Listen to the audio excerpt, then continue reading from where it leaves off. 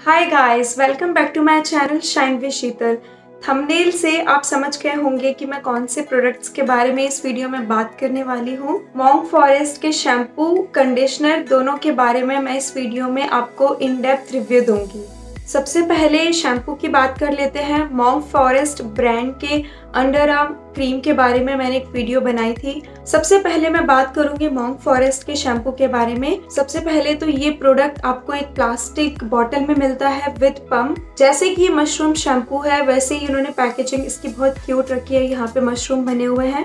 बाकी white colour की इसकी पैकेजिंग है। इसकी क्वांटिटी है 200 हंड्रेड एंड प्राइस है two ninety nine rupees but आपको इससे कम प्राइस में इनकी वेबसाइट पे और फ्लिपकार्ट पर मिल जाएगा। ये शैम्पू ट्रांसपेरेंट है, इसमें कोई भी कलर नहीं है थिक है, इतना ज़्यादा लिक्विड ही नहीं है। इसकी फ्रेग्रेंस बेसिक शैम्पू जैसी है। इसके फ्रंट पे आपको इससे रिलेटेड बहुत सारी इन्फॉर्मेशन मिल जाएगी कि सल्फेट फ्री है पैराबिन फ्री है विद मशरूम एक्सट्रैक्ट है ये शैम्पू बैक पे आपको इसके ingredients expiry date manufacturing date सब कुछ मिल जाएगा। मॉन्ग फॉरेस्ट के प्रोडक्ट्स मेड इन इंडिया हैं। इस शैम्पू को कोई भी टाइप के हेयर वाले यूज़ कर सकते हैं, चाहे ऑयली हो ड्राई हेयर हो। इनके फ्रंट पे लिखा हुआ है, इन्होंने दो क्लेम किए हैं एक्स्ट्रा स्मूथनेस एक्स्ट्रा नरिशमेंट मैंने इस शैम्पू को फोर टाइम्स यूज़ किया और उसमें मैंने इसको कंडीशनर के साथ भी यूज़ किया और अकेले में भी यूज़ किया और दो बार विद कंडीशनर इंडिविजुअली भी इसके रिजल्ट्स अच्छे थे। मैंने जब इसी से सिर्फ़ अपने हेयर को वॉश किया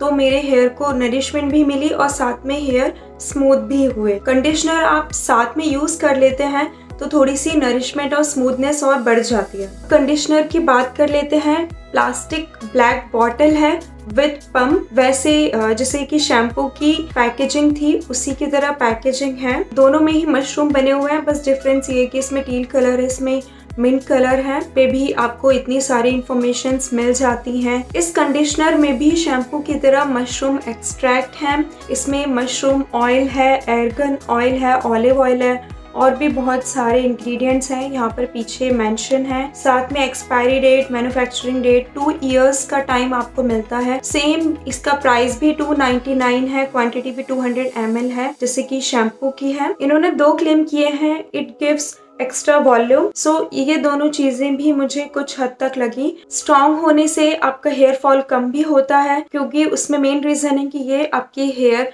शाफ्ट की स्ट्रेंथ को बढ़ाता है। इस कंडीशनर का colour white and texture thick है। कंडीशनर की भी फ्रेग्रेंस ऐसी आ रही है जैसी मुझे शैम्पू से आई थी। सो so, ओवरऑल ये शैम्पू कंडीशनर दोनों ही मुझे पसंद आए। मेरे कलर्ड हेयर हैं स्टिल इस शैम्पू और कंडीशनर के कॉम्बो ने मेरे हेयर को बिल्कुल भी ड्राई नहीं किया। आपके हेयर को वॉल्यूम देता है ये दोनों कॉम्बो साथ में शाइन हेयर को स्ट्रेंथ भी मिलती है।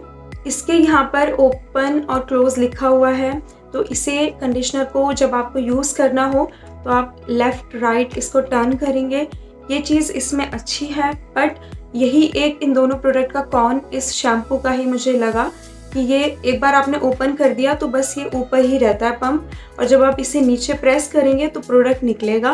तो ये ट्रैवलिंग के लिए तो अच्छा नहीं है। शैम्पू की ओपनिंग ये कंडीशनर की तरह रखते तो बेटर होता। ये ओवरऑल प्रोडक्ट मुझे दोनों पसंद आए हैं। अगर आप इन्हें लेना चाहते हैं तो मैं डिस्क्रिप्शन बॉक्स में इनके लिंक दे दूँगी। आप वहाँ से परचेज कर सकते हैं। I hope you like this hair care video don't forget to like share and subscribe to my channel मैं आपसे मिलती हूँ नेक्स्ट वीडियो में. Till then take care bye